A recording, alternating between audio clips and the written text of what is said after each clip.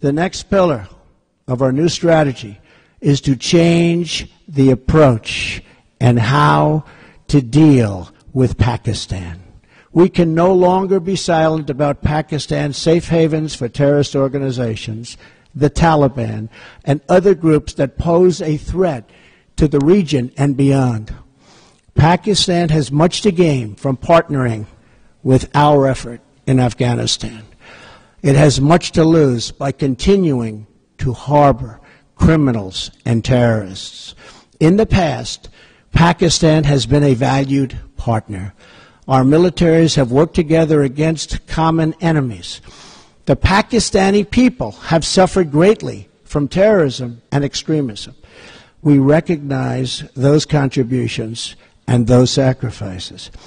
But Pakistan has also sheltered the same organizations that try every single day to kill our people.